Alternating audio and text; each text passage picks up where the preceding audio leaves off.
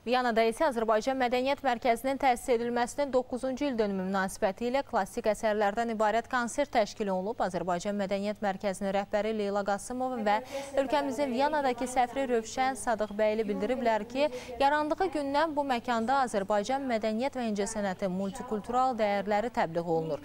Mərkəz iki ölkənin mədəni əlaqələrinin dərinləşməsində yaxından iştirak edir. Burada Azərbaycan dilinin təbliğinə xüsusi diqqət göstərilir. Əcnəmilər üçün Azərbaycan dili kursları, Viyanada yaşayan soydaşlarımızın övladları üçün həftə sonu məktəb fəaliyyət göstərir.